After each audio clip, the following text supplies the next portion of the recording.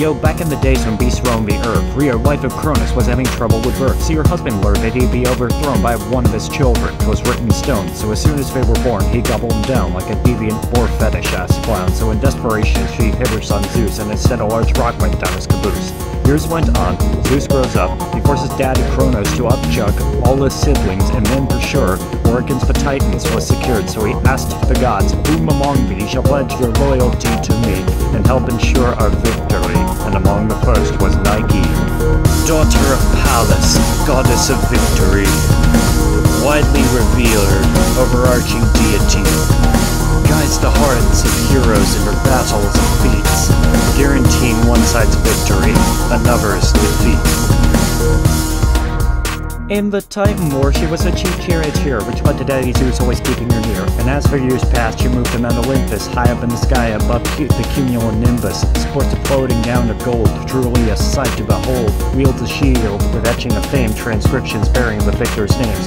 She does but try to keep the peace but she always has a wreath at the ready to crown a new victor upmost and a chalice in hand for the victory toast. Occasionally serves as an emissary of Athena, assisted in the theogony, omnipresently granting victors victory, and so they all pray to Nike.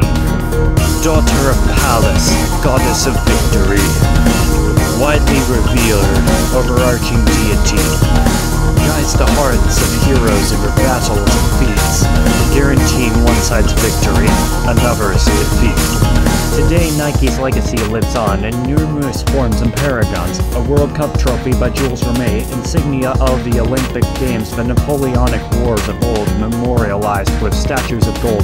And in keeping with Zeus's guarantee to make her live forever as the goddess of speed and victory, we have the opportunity to wear Nike shoes, taking a 30% of all sales.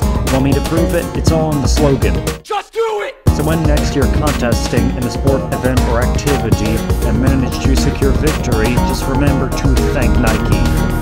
Daughter of Pallas, goddess of victory, widely revered, overarching deity, guides the hearts of heroes in their battles and feats, guaranteeing one side's victory, another's defeat.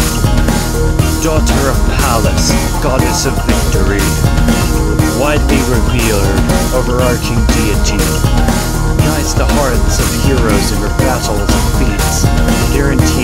Side's victory, another's defeat.